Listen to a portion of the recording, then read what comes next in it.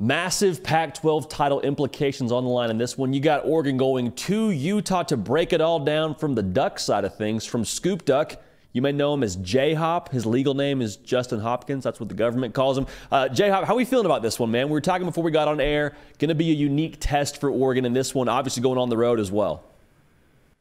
Yeah, it's going to be another big test, and I don't want to, you know, throw hyperbole out there because Oregon played a very tough Washington team. That was a big test on the road. This is going to be just as big. It's on the road. Utah's very tough, physical.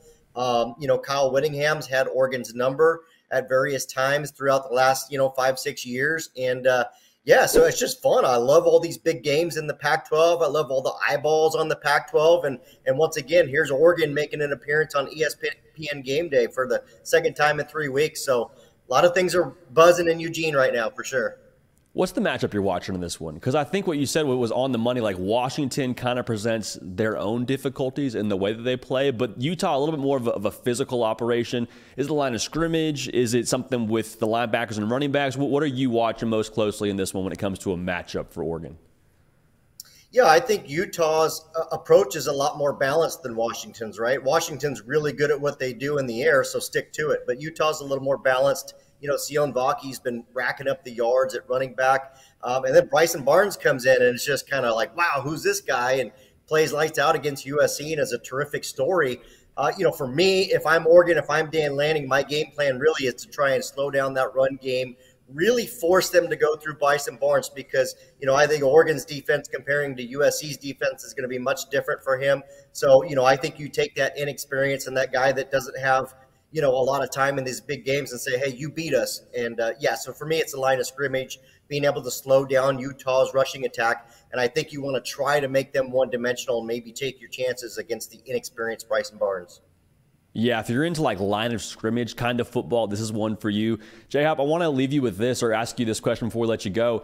When it comes to Oregon, emotionally? Like, like you know, you have the big game against Washington, have a great bounce back against Washington State. Where's the psyche at when it comes to this team? Because now they got to go back on the road and they're, and they're playing a, a really tough, like we talked about already in this segment, physical outfit. Is the emotional tank still pretty full for Oregon, or what are you thinking with them in this spot?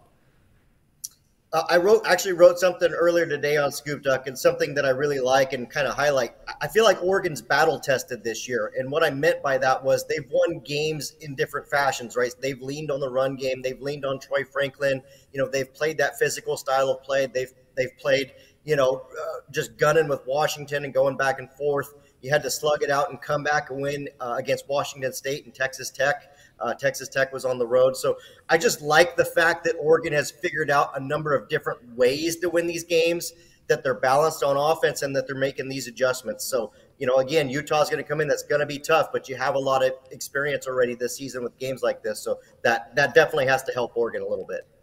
Yeah, it feels like Oregon's one of those teams that's able to get in multiple styles of fights. Like if, it, if it's a Washington team that's going to throw the ball around the yard, okay, we can keep pace. If you're going to play physical in the trenches, like Utah will, you feel like you're okay in that spot as well if you're Oregon. Uh, also, if you're watching this video, go get a membership at Scoop Duck.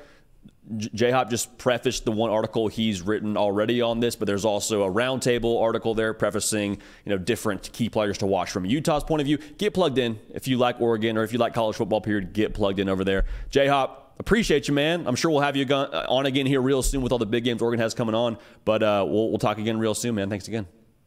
Looking forward to it. Thanks, JD. There is absolutely nothing worse than having a bunch of your friends going to a game and you want to go too, but guess what? You don't have tickets. This happened to me before. I'm imagining it's happened to you before. Let's not let it happen again. Let's use game time to get the best deals on all the tickets, all the entertainment events, especially college football games where they got tickets for you. Make sure you get that done with game time. All right. So if you're a fan of the Tennessee Vols, want to go up to Neyland for that Georgia game coming up here in November, game time has got you covered.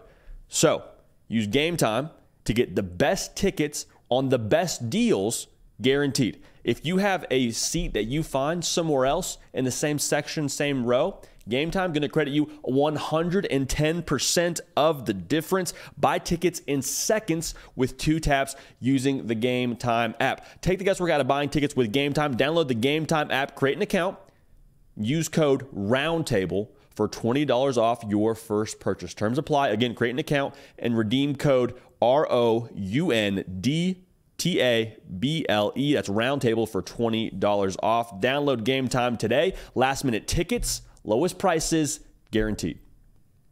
Oregon fans, if you liked that video, make sure you go get a membership over at Scoop Duck. Going to keep you informed on all things Oregon. Also, subscribe right here to the On3 Roundtable YouTube channel.